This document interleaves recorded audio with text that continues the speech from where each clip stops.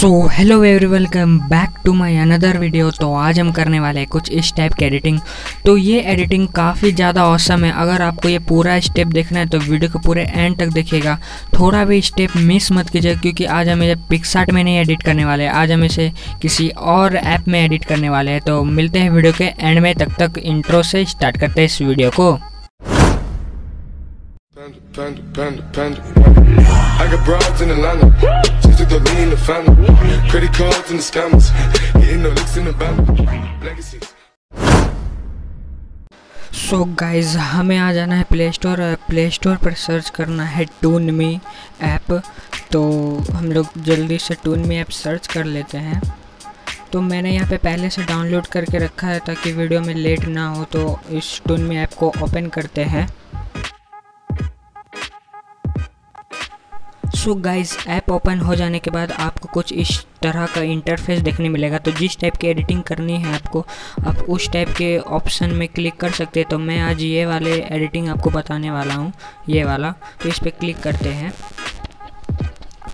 तो यहाँ पर इस तरीके का इंटरफेस आपको शो करेगा।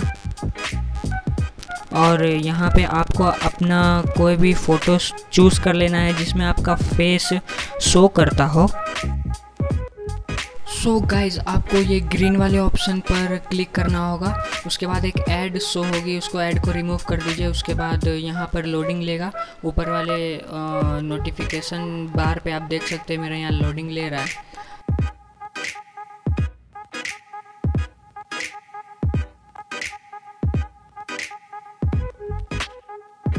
सो so गाइज़ यहाँ पे आपको कुछ ऑप्शंस चूज़ करने मिलेंगे अपने ही फ़ोटो के। तो मैं यहाँ पे ये वाला ऑप्शन फ़ोटो जो है चूज़ कर लेता हूँ, ये बीच वाला।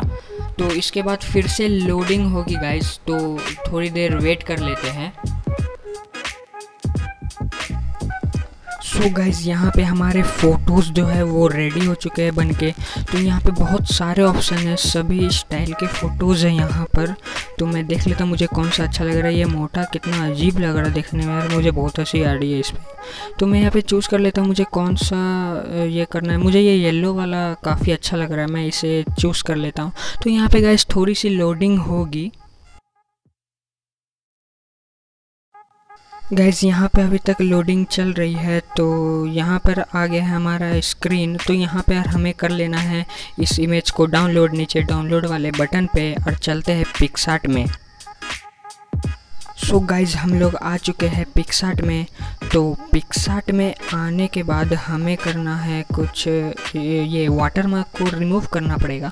तो वाटर मार्क रिमूव करने के लिए हम क्लोन के ऑप्शन में जाएँगे और यहाँ पर हमें जो है इसको बस इरेज कर देना है ताकि हमें वाटर मार्क रिमूव हो जाए। और आप थोड़ा इस फ़ोटो की सेचुरेशन भी बढ़ा बढ़ा सकते हैं ताकि फ़ोटो और बेटर लगे।